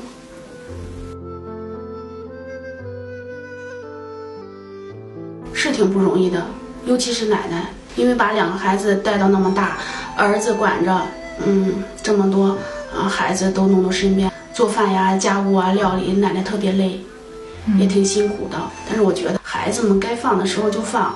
因为自己有独立生活的能力的时候，说你放开他，你再照顾他回来孝敬你的时候，我觉得他也是愿意的。包括我们每一个人，我想都是。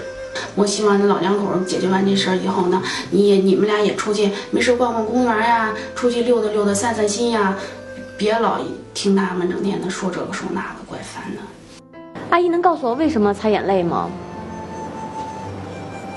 我当那个我没确实永远结婚几年了，没听过。他说过这些话，因为在录制这期节目之前呢，我非常的担心，但是听到了儿媳妇的这个话，我突然觉着希望，就这个女孩子的这种表达，哎，让我觉着挺好，就她不是我想象那种不行，我老公就受气了，怎么怎么样，不是，真的不是，所以我就在想，这些事情是不是会出乎您的一些意料呢？欣慰，欣慰，那就好。所以说，人是可以改变的，人不是不可以改变的。我觉得您现在呀，咱们就说句实在话，您的有生之年，您得快乐的过。那我们现在想帮您的是得让您快乐的过。谢谢。刚才那段话，我不知道这位先生听在心里没有？就是您现在这个您的这种脾气啊，可能已经不仅涉及你跟父母，您这个妻子呢也会觉得有的时候挺痛苦的，所以。我我特别希望你认真的反思一下，看到场上所发生的一切，场下有一位神秘人物再也坐不住了，他想要上场表达自己的看法。他就是今天的爱心传递志愿者赵海。工作中他是和蔼可亲、爱岗敬业的好法官，生活里他是谦和孝顺、关心老人的大孝子。六年来，他每晚必须去奶奶家给九十六岁高龄的老人做按摩。在他心里，孝比天大，亲情永远是人生最大的财富。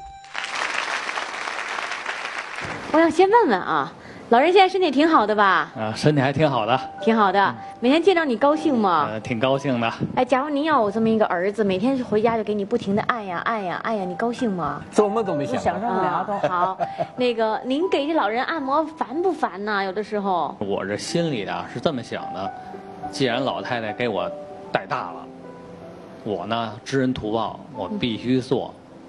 嗯，我不做不行。您要是比如说有一天啊生病了，您没去成，您这什么滋味儿呀？呃，有一点不安，因为一年三百六十五天，基本上我在三百六十天或者三百六十一二天左右，一年缺席不了一两天。刚才听到他们那个故事，纠结吗？呃，肯定有点纠结呀、理解不同，看法不同。您的儿子首先从小呢，这个得到您的可能关怀呀、爱护呀，也许可能比他的哥哥姐姐还要多。但是呢，在他的成长过程中，他感觉呢很多东西就等于形成一种惯例了，嗯就是这种照顾啊，应当是持续的。嗯一旦要打变呃，就打乱那个格局嘛，他就认为有一种不平等、不公正的东西在这里头。就您在平时接触的案例中，有没有见到过那种由于儿子和父母沟通不利，最后出现大问题的案子？也经常遇到过一些赡养纠纷的案件，呃，比如说以前我碰到这么一个案件，就是什么呢？这个老头儿呢，起诉他们三个儿子，嗯啊，起诉他们给赡养费，每人要求五百元，嗯但是呢，这三个儿子呢，当然都不同意，而且对这老头儿确实不孝，因为老伴儿已经很早就去世了。老头儿呢就跟我这么说的，说你看我呀，我也确实的跟您单独说吧。我说什么啊？说我以前确实我也不孝，说在这个父母这个母亲啊弥留之际，曾经啊要求他过去看望，啊其他的弟弟妹妹打电话，但是他还是没有去。啊。最后呢，他就是流着泪说：“说这样我做的也不对。当时我孩子都劝我去，但是他是始终没有去。但是现在他非常后悔，嗯他总觉得呀，当时这种观点啊还是不对的，啊，因为法律上规定啊，这个赡养有三个义务。首先呢，就是一个是物质上的供养，第二个是生活上的照料，嗯第三个呢是精神上的慰藉。明白。等于法定是三种义务。但其实，在他们家，姐姐赡养的多一些。呃，我觉得是这样啊，王导。呃，我想呢，老妈妈工作，我觉得呢，相对不是很难做。我看出来了，高安健现在呢是这个老父亲心情非常不愉快。嗯我觉着呢，你跟赵法官呢分别帮我一忙，这个您呢跟这老父亲去第一观察室交流，嗯赵法官呢帮我跟老妈妈做眼交流。此时此刻，节目录制已经持续到晚上九点多钟。面对父子俩僵持不下的态度，主持人建议观众提前退场。专家以及爱心传递志愿者赵海法官分别带领父母进入观察室，同时场上专家也对儿子高先生展开了深入分析。我说我就想让我妈我妈啊说句公道话，你孩子摔地，你姐没扶是错的，他那狗咬你也是他的错，嗯，这些都是他的错。但是你为了我们两口子，你忍忍，我们还得靠他照顾呢，成不？我死都成。现在是这样的啊，先生，就你们家这几个人的性格呀，造成了现在这个情况。您今天您不用管那老两口，相信王导和赵法官，您只要把您的问题解决好了就行了。先生，您知道你最大的问题在哪吗？我觉得我最大的问题就是固执。固执是根子里面问题，表现，你的表现啊，我我我曾经在场啊，我曾经解释过一个成语，形而上学解释叫“家长里短”，什么意思呢？我说家永远是最长的，家中的理是最短的。居家过日子和睦，最怕争个理长理短，最怕去较劲，最怕去赌气。您恰恰你看你是什么怕你来什么，这不是居家过日子的好的方法。改变一个人脾气并不是很容易，所以说现在他，您想让他改变他，就说您那个儿子，三儿子哈，又固执又偏执啊，有时候您说他还不像，您要想整个扭转这个局面啊，也不是一个简单的事儿，不那么容易。对，不不那么容易。现在已经都四十多人，根深蒂固了。改变一个人的性格对秉性难移。对，在很多情况下是这样的。我分析您想要什么呢？第一件事情，您是想要爱；第二呢，您是想要完美。通过那个小狗那件事情呢，您是想要一份爱，您自己直接表达了。其实您跟狗较劲是要爱，您跟姐姐较劲，跟家里所有人较劲，实际上都是要那份爱。现在要的有点困难了，那人当想要什么，又要的有点困难，又觉得自己需要的时候，就会采用不不好的方法了，可能顶撞，或者是通过顶撞这样一种态度，想要回这种这种爱。但是呢，你这个方法恰恰要不回来，因为人家都会误解你。我刚才在台上我就说了，我怕他服软以后啊，最后他妈受不了。得了，我再给你看孩子吧。我现在这这是这么个想法，你的孩子别来打扰我，啊，你服软也好，不服软也好，我不在乎。第二呢，您很聪明，爸爸妈妈都夸您聪明，然后您又能够做生意，做得又很好，顶着身体那么大的压力在做，您是追求完美的，然后您又那么大岁数才有那么个孩子，然后您对那孩子也特别的爱，所以您就想呢，生活、工作、家庭都想搞好，您本意是特别想搞好，证实自己的能力，但是呢，恰恰用了一些极端的方法，现在反倒证实不了了，弄得大家都挑你的刺儿。这一挑呢，跟你追求完美的那颗心就发生了严重的抵触，那你就变得那浑身就是刺儿了。就是你们绝不瞧不上我吗？那我就要证明我自己。结果呢，证明不了，证明不了，您就能干的事您也不干了。您说您这个孩子，您真的弄不了吗？凭您的能力，凭您爱人刚才说话那条理性，你们两口子弄这个孩子绝对没有问题。你高高兴兴来的，咱们有时候想该吃再该该吃吃该喝喝。你当你的大爷都没关系。你要今天气哼哼来，你你请出，我不让你。跟老人别计较，很多自己说句不好听的，都是这么大岁数的父母了，服点软儿，有什么原则问题？你们家，咱客观的说，你告诉我，有原则问题吗？也没什么原则。对呀、你没有大的原则问题，那就这点鸡毛蒜皮的事儿，你稍微退一步，对吧？你全是海阔天空的事儿，完了你较劲，弄得你自己不痛快，弄得老头老太太不痛快，弄得兄弟姐妹都不痛快，何必呢？我觉得他的伤害没有我伤害大，为什么呢？因为他是我儿子吧，我我不应该这么说，但是我是这么想的。嗯，你跟你姐姐这么一闹，他这脚丫子腻歪，原来是他伺候我，现在我还伺候他，我伺候不了他了，我现在又请一个帮我，我得给人钱。而且我刚才听了听你你父母你父亲对你们这个三个兄弟姐妹的这种安排，我个人感觉还是蛮公平的，考虑比较周到的。所以我觉得大面上你父母给我们的印象或者给我的印象，我认为是讲道理的人。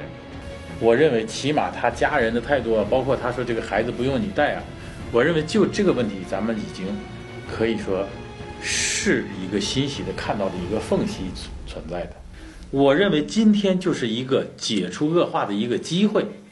如果这些话呀哎，说白了，这些话我吐出来了，我心里也痛了。那当然，我坚决相信两位老人家会有态度，所以你呢，很多事儿在家里事儿别讲什么是和非了，给老人有个好的态度。有些事儿，包括刚才什么狗咬了谁，孩子摔了没人扶啊，怎么样，狗和人的关系处理上不妥当，诸如此类的事儿，你全得担待。我搀着您到来的时候，他也不放心您的脚，为什么？跟我是跟我关系不好。您看，进来的时候我始终因为我说我搀着你不放心，我是外人呀、所以说从这点来讲，到时候回头把这事儿表示一下，也是一个对咱们这个整个家庭的一个最好的一个转折点。您表示一下，让他他对我还是可以的。就在赵法官和母亲沟通顺畅的同时，王导也了解到父亲内心的真实想法，带着老人的嘱托回到了现场，希望能用自己的话点醒儿子。自己混的当在那个时候连连那个小动物都没有没有比过人家，难道真的这是老人的责任吗？嗯，你想想，如果说是你平时跟爸爸妈妈关系搞得很好的话，他怎么可以在那一瞬间的反应是选择嗯那个比你更重要呢？嗯人要是这么去反省呢，其实你就不难受了。你只要把责任放在自己身上，说原来我父母亲在那一刻不够对不够在意我，是我自己的责任，你就不难受了。您看，您一直在说姐姐，姐姐今天没来啊。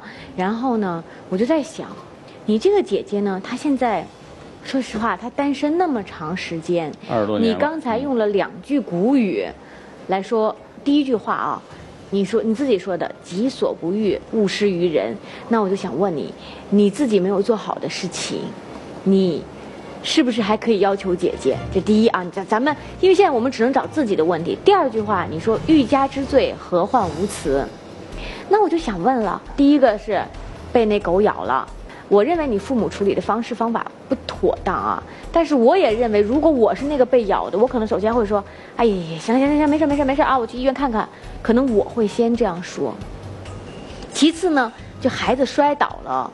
他抱和没抱这件事儿，说实话，因为我孩子就那么大点儿，在家里边经常有这样的情况。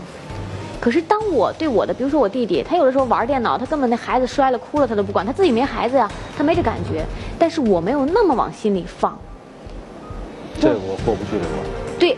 无论说什么，这 就是他的闺女在在他小时候啊，那我这舅子的见天找我去，有空就找我去，买这吃买那吃，带我玩什么的。我真是的，我当时我就说带他吃，买什么买这买那，我从来没有任何想法。但你有没有想过？我就觉得我是他舅舅。不，应该你那姐姐当时也许她真的是抱那狗，她着急呀，她抱着那抱开那狗，并不是不服孩子，她是怕狗咬着你孩子呀。比如说，我们俩在路上走着，突然来了一条狗，它要咬你，我是把你推开是对的呢，还是把狗推开是对的？我冲上去拦住，最后狗差点把我咬了。你是感谢这个冲上去拦狗的人呢，你还是感谢这个把你推开，结果狗又追你去了？这两个问题，你你迅速回答我。你觉得咱们不要掺杂任何其他意意思，就说咱俩走在路上，就说咱俩来了一条狗。我跟您说我反应吧，如果真是这种情况，我的反应啊，我的反应第一反应就是把这狗打跑。对呀。难道你姐姐是把狗给？抱回来咬你孩子了吗？他冲上去把狗抱起来，打跑和抱跑有什么区别？打跑的是野狗，抱跑的是他家的狗，但他目的是一个，就是让这个狗和孩子分开。难道这不可以吗？我我们家女儿跟你的孩子差不多大，四岁多。我现在设身处地的替你想想这个问题啊。现在突然冲进，我跟我女儿，比如说我俩坐在这儿，突然冲进来一只狗，突然冲进来一只狗啊，啊冲上来，我也很怕狗，我肯定。就是很害怕。那么这个时候，如果王导冲上来把狗拦住了，然后陈旭律师冲上来把孩子抱走了，两个人我都感谢，我都感谢。我认为他们都，起码他们都救了我的孩子，是不是？一般如果在外面，在外面孩子遇到这个狗的伤害的时候，爸爸跟妈妈都有差别。一般妈妈可能会首先去把孩子护着。用自己的身体牺牲自己去护孩子，嗯，对。爸爸一般会收拾狗，对，这是衡量自己有这个力量。所以你的姐姐还有一个，如果那个狗是自己的熟悉的东西，孩子不是自己熟悉的东西，大多数人采取是首先处理自己熟悉的那个东西。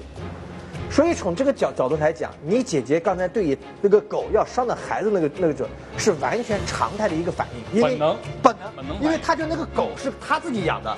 他弄那个狗是出于本能就上去去处理那个狗，孩子不是他的孩子，他处理如果要着急了，万一拉弄着了，伤到哪呢？他不知道。如果那天你的孩子是走到了一个很危险的地方，后面来了一条狗，你姐姐把狗弄走，没有管你孩子。如果不管孩子，孩子可能从哪儿掉下去，那一定是他的问题。问题是你孩子那天最安全的办法就是先把狗摁住，先把狗抱起来。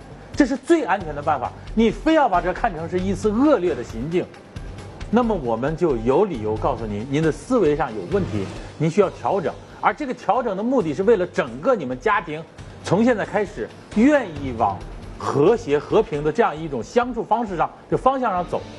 说一千道一万，你姐姐给你洗过头、洗过脚，你给她洗过吗？我觉得这个话是不是能够稍微惊醒你一下？我的话有点重。但是兄弟，我的话再重，都是一个目的，想让你和你的家人开始梳理一下，你们是不是不要再这么对峙了？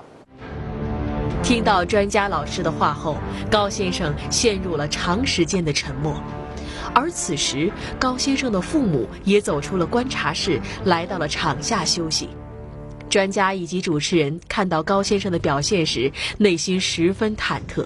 这些话语会在高先生的身上起到什么作用呢？经过一段时间的沉默，高先生似乎若有所悟，他突然起身要求与父母见面，并表示自己有话要说。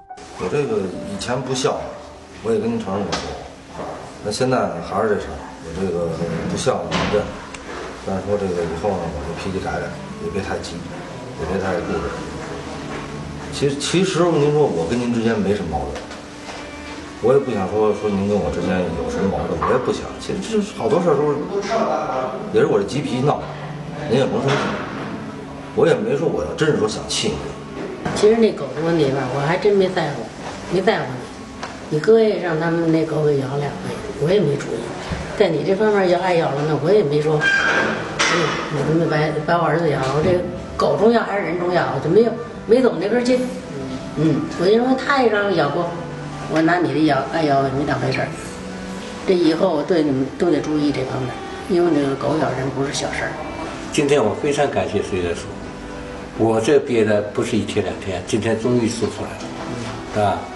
这个说出来的态度可能过于激激烈，你呀也思考思考，尽量考考虑考虑。咱们之间呢，咱们父子之间呢，今后啊多多交流交流。你有什么想法说说，啊？但是一个我就说，今后你把你的想法事先跟你妈说，跟我说，不要遇到事就急跳，是吧？尽量控制。我跟你说，今天完了以后，明天跟你姐的。态度能好了，我我我不信的，需要有个过程。那回去我们慢慢的跟他讲，让他克制，你也克制克制，是吧？终究是一家人，亲，是吧？这这这亲姐儿俩，以后都想想人家的好处，这个什么坎儿都能过去。高先生的主动悔过得到了父母的认可，尤其是父亲的态度也从倔强变得和蔼。从一家人心平气和的言谈中，我们不难看出他们心里很在乎对方。新的曙光正在照亮着他们未来的生活。很多时候，在家庭生活中，我们不能过多的计较得失，只要存有一颗感恩的心，去关爱家人，那么我们就会收获来自家庭的爱。